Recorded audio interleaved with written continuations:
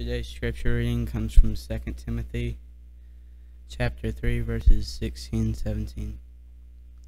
All scripture is breathed out by God and profitable for teaching, for reproof, for correction, and for training in righteousness, that the man of God may be competent, equipped for every good work. morning. This morning, we start a new series. And this new series is on. This is supposed to be the hint, by the way. Sorry, I didn't know if I said that. It was said in my head, and you didn't hear my head. Listen closer. Um, what are we talking about? There we go. The Bible, God's Word. We are going to have this same concept drilled in our head, and it is all Scripture as God breathed. All scripture is profitable for teaching, rebuke, correction, and training in righteousness, that we may be thoroughly equipped for every good work. We are in 1 Corinthians chapter 9.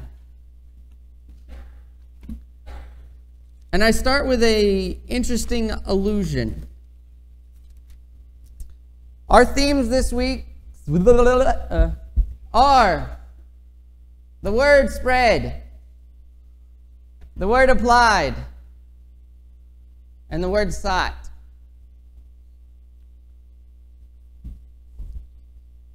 Have you ever noticed how hard it is to share the gospel the first time? The very first time you do anything, it's hard, isn't it? I mean, if you go to a new place, it's hard, isn't it? Okay, anytime it's the first, it's always a little bit harder. Y'all remember the first time I came here? Y'all thought I was special. y'all know y'all thought I was special. Yeah, you finally figured out I was, but it's okay. You did. Because what was it? It was the first time I'd ever been with y'all, and I was nervous. Right? Y'all, are scarier looking than I expected. And what happened was it was a little bit difficult. And today we're going to talk about sharing the gospel. And I want to break it first with this illusion. Y'all saw me. The first time you ever get the Bible out to share it, if it's the first time, it's a little scary, isn't it? How many remember the first time you ever tried? I like the word tried to share the gospel with anybody. Anybody remember that? That whole, uh, I, I kind of know what the Bible says, but what if they ask weird questions that I just don't know? And I intentionally left my keys. That was not an accident. Because I wanted to demonstrate just how hard it is, that very first time it is, to get the word out. That very first time to get it. Because think about it. If I want to share the gospel with you once, I just got my Bible out, right? If I want to do it again, do I need to walk over there, grab my keys, unlock it, get it all out again?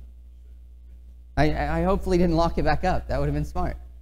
And that is what I want to present to you today is we are called, and this is not a call for Paul only, this is a call for all of us, that the word needs to spread. And God didn't do something mighty and majestic and go, I'm going to write my name up here. I'm going to come personally and talk to everybody. He did something mighty and majestic, and even greater, he formed the church. God did something greater than himself speaking. He sent a church for all time. A church that no matter where he is, no matter what he's doing, no matter who it is, there is somebody who's in their circle. Somebody who is connected with them. And today we're going to talk about that spreading the word. We are in 1 Corinthians chapter 9, starting in verse 1. Am I not free? Am I not an apostle? Have I not seen Jesus our Lord? Are you not my work in the Lord? If to others I am not an apostle, at least I am to you. For you are the seal of my apostleship in the Lord. My defense to those who ask, examine me is this Do we not have a right to eat and drink? Do we not have a right to take along a believing wife, even as the rest of the apostles, and the brothers of the Lord, and Cephas? Or do only Barnabas and I not have a right to refrain from working? Who at any time serves as a soldier at his own expense? Who plants a vineyard and does not eat the fruit of it? Or who tends a flock and does not use the milk of the flock? I am not speaking these things according to human judgment, am I? Or does not the law so say these things? For it is written in the law of Moses, you shall not muzzle the ox while he is threshing. God is not concerned about the oxen, is he? No. Or is he speaking altogether for our sake? Yes, for our sake it was written, because the plowman ought to plow in hope, and the thresher to thresh in hope, of sharing the crops. If we sowed spiritual things in you, is it too much if we reap material things from you? If others share the right over you, do we not more? Nevertheless, we did not use this right, but we endure all things, so that we will cause no hindrance to the gospel of Christ. Do you not know that those who perform sacred services eat the food of the temple? And those who attend regularly to the altar have their share from the altar. So also the Lord directed those who proclaim the gospel to get their living from the gospel. This is something this church does not fail at. This is something where the percentages work out in this church. We spend money in areas that spread the gospel. I'd like to say that's normal for every church that's not normal.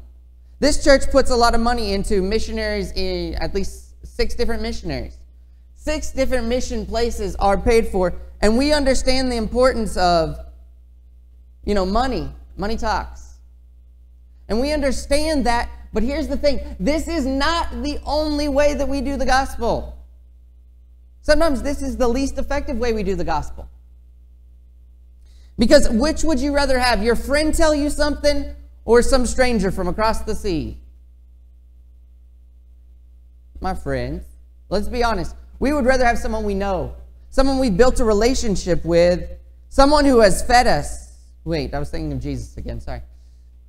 Someone who shows up and feeds 5,000 and then teaches them. Someone who heals the sick and cares about our problems and then teaches them. I wait, I was thinking about Jesus again. And we do a great job of thinking that money talks. And it does. And it is, it is vital that we support missionaries. It is vital that we support the cause of Christ that way. But too often we think that in doing that we've done our service. And the only thing I'm proposing to you is you are a better evangelist than any of those people. The difference is only who you need to be evangelizing to.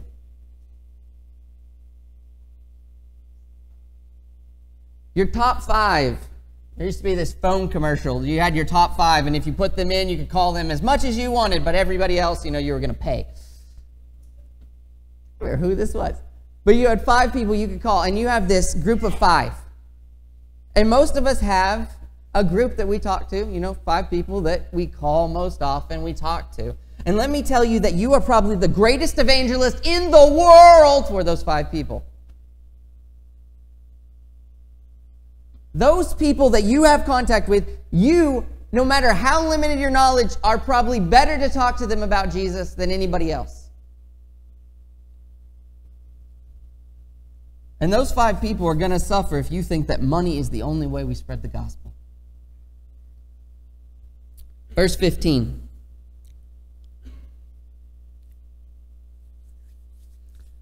But I have used none of these things and I am not writing these things so it will be done so in my case. For it would be better for me to die than have any man make my boast an empty one. For if I preach the gospel, I have nothing to boast of. For it would be better for me to die than any man make my boast an empty one. For if I preach the gospel, I have nothing to boast of. It would be better for me to die than have any man make my boast an empty one.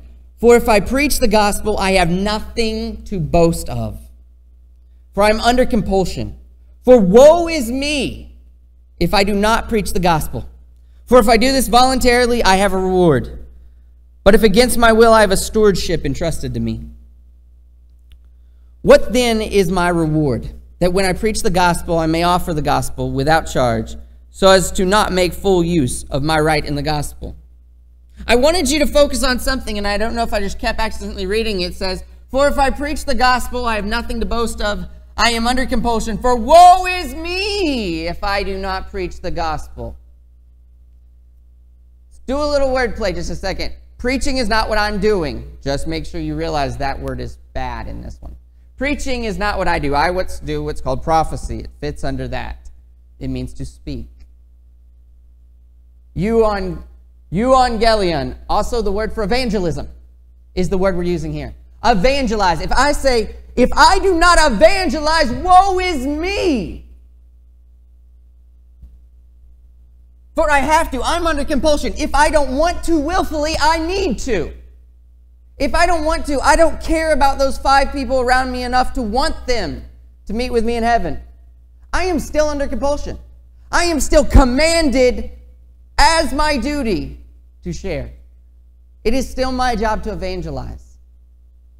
And he says this Woe is me if I do not preach the gospel. Evangelize, if I don't share the truth with those around me, woe is me.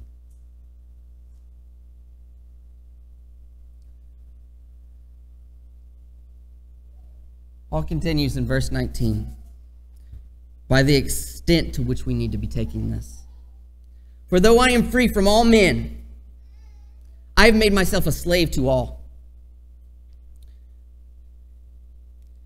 so that I may win more.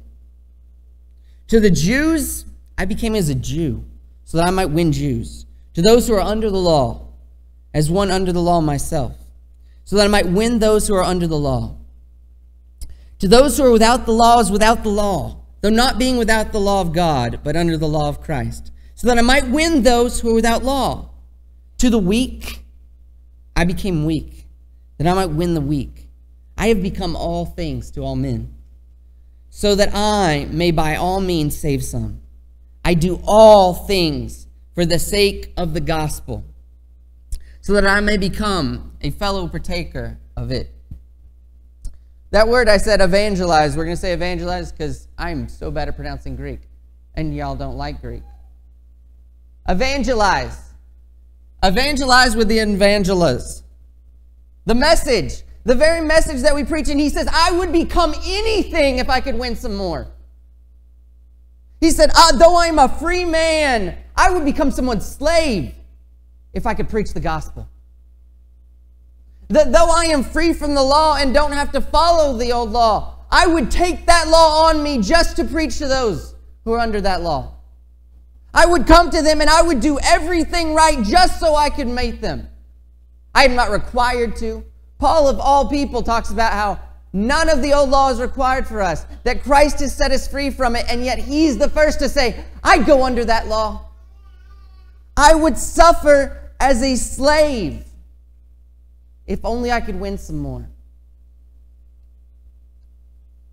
And we're at something almost completely different. We're not even at the point of challenging ourselves to become weak with the weak or strong with the strength. We're challenging you to be you. That's the point we're really at. I am challenging you to be you.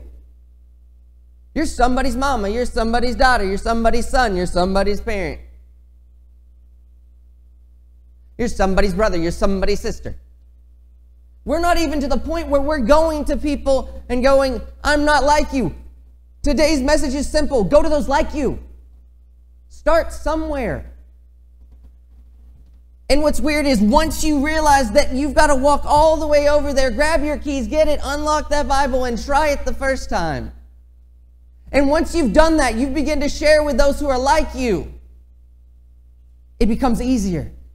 Because once you experience the power of God, you don't go away and forget it. You experience God working through you and sending a message, and you go, Wow, God, why'd you do that? I showed up and then you started talking. I was there.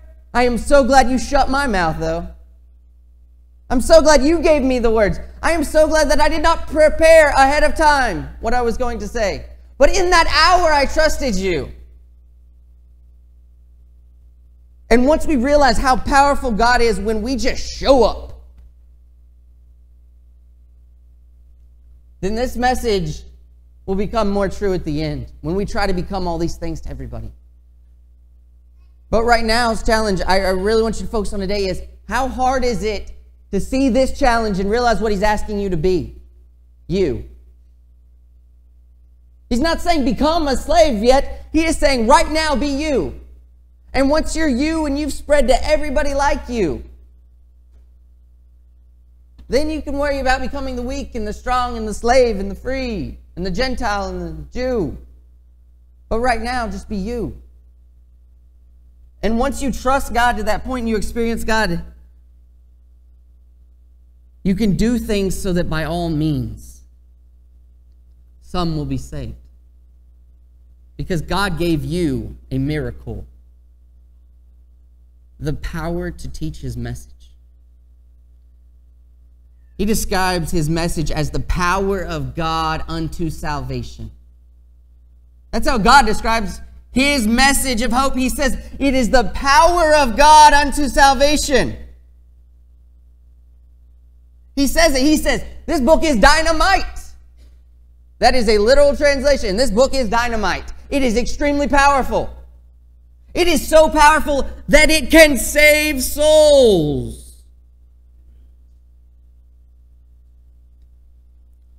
Verse 24. We start by rejecting ourselves. Do you not know that those who run in a race all run? Okay. But only one receives the prize. Run in such a way that you may win. Everyone who competes in the games exercises self control in all things. They then do it to receive a perishable wreath, but we an imperishable one. Therefore, I run in such a way as not without aim. I box in such a way as not beating the air, but I discipline my body and make it my slave, so that after I have preached to others, I myself will not be disqualified. Think about it. How many of us showed up to Christianity and go, I showed up to the race? I, I got in that water. I was raised up. I am in Christ. I showed up to the race. Yeah, I was running with all the others. I was competing in Christianity. I, I was there. I was at the games. I, did, I didn't try to win anything. I mean, why try to win anything? Why try to receive a crown that lasts forever? Why try to receive God saying, Well done, my good and faithful servant? I showed up. Why show up to the boxing gym and actually hit the bag? Why don't I just go like this? It's easier because, you know, my hands don't get as sore, right? Why actually run? I might get sore. And you know that whole like build up in your legs when it gets sore from running? Yeah, I've tried to run before. You can tell. It wasn't very good. You got that soreness, didn't you? And he says, I discipline my body daily so that I can win. I'm not in this race to show up. I'm not in Christianity to be a Christian and, oh, that's good. I'm in this game to win. I'm in this game to go before the Lord and Him said, Well done. I am so glad you did what you did. I'm so glad I have these children because you decided to open your mouth. I mean, I shoved the words in, but you, you know it was great that you opened your mouth. My Holy Spirit spoke through you, but I'm glad you opened your mouth. and the challenge of one. You've got five people, and the idea is that there are five people that you are close to, and one of them is likely not in Christ. It is likely that one person that you are close to is not in Christ, and I want you to take a second. Think about that one person. Get a name in your head, this person who you know the Lord comes back today, you're not going to be living with an eternity. You know they're going to be suffering eternity because they weren't right. They weren't ready. And I want you to get a name, a person you think of, and ask yourself if you want everybody to be showing up.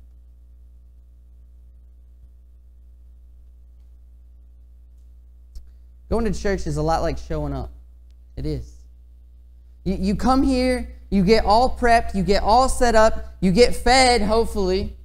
You get this message, you receive it, and then you've got this name, right? And you're supposed to run. Run! And you're like, well, I, I showed up.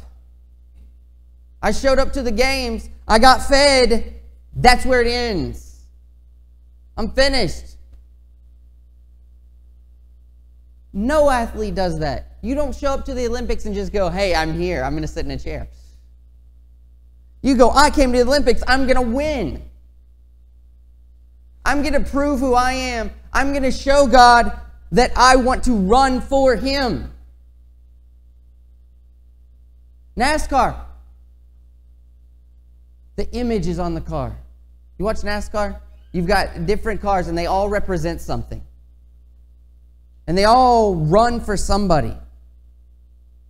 And we've, we've been given a sticker that says, The Lord Jesus Christ and Him crucified on our car. And we can race our car and we can say, if we finish dead last, at least we showed up.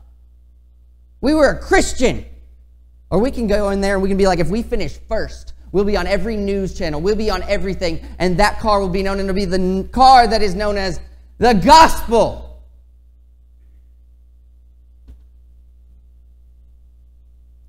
And the only thing I really want you to think about today is that one person. Just one person that next year you're to you're going to run after. That one person that you're going to try to reach, that one person that you love enough to care about. More than just, eh, are you doing okay? More than just, well, you know, is everything okay in this life? And I want you to see that person and realize that God has given us His word, and we've got to take the time to take it out. And that first time is going to be hard. If you have never tried to share the gospel, the first time is terrible.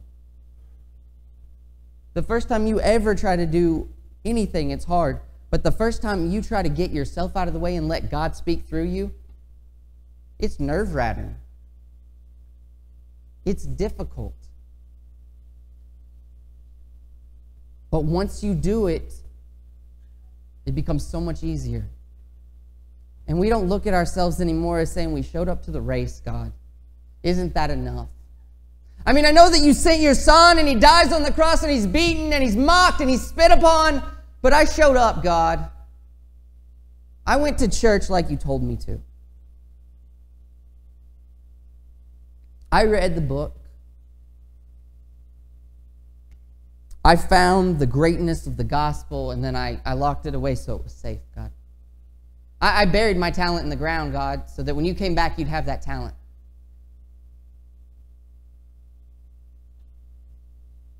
And that one person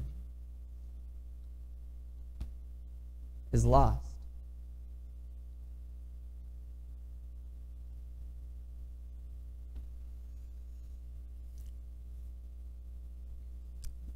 Second Timothy 4, 6 through 8.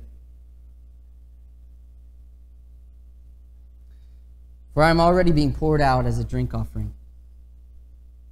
And the time of my departure has come. I have fought the good fight. I have finished the course. I have kept the faith. In the future, there is laid up for me the crown of righteousness, which the Lord, the righteous judge, will award me on the, that day, and not only me, but also to all who have loved his appearing. There's a day coming. There is a day coming with final judgment, and there is only one choice. You either take the gospel in which all the work is done, or trust on your own righteousness and fail. The Bible's pretty simple. You want to know how to go to hell? Sin once. Good job. Excellent. You've already completed step one. And to go to heaven is to hear his word and believe in him. To believe the message that Jesus died and rose again for our sins. To confess that Jesus is actually Lord. To repent of our sins, saying, Hey, I've sinned, God. Only you can make it righteousness. Be baptized into him so that we are clothed with him filled with His Holy Spirit so that we can live for Him by letting His Holy Spirit work through us. And we come to the end and we say, God, we ran that race. We didn't just show up, we ran that race.